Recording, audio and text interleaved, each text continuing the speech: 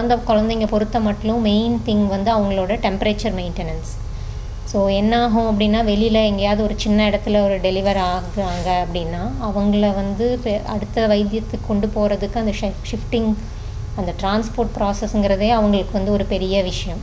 அதுவே ஒரு பெரிய ரிஸ்க்காக இருக்கும். ஸோ அந்த இனிஷியல் டெம்பரேச்சர் மெயின்டெனன்ஸ்லேயே வந்து நம்ம பிரச்சனை ஆகுதுன்னா அந்த குழந்தையோட லாங் டேர்ம் சர்வைவல் எல்லாமே வந்து பிரச்சனையாக இருக்கும்.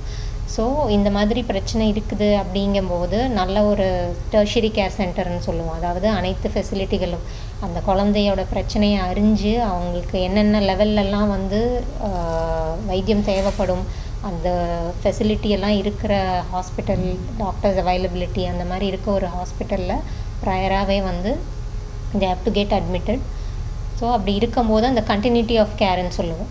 அந்த பேபிக்கு என்ன தேவையோ அது எந்த டிலேவும் இல்லாமல் எந்த தடங்களும் இல்லாமல் அடுத்தடுத்த லெவலில் எல்லா ஸ்பெஷலைசேஷனும் இருக்கும்போது அந்த கண்டினியூட்டி ஆஃப் கேரும் ரொம்ப முக்கியம் எப்போவுமே.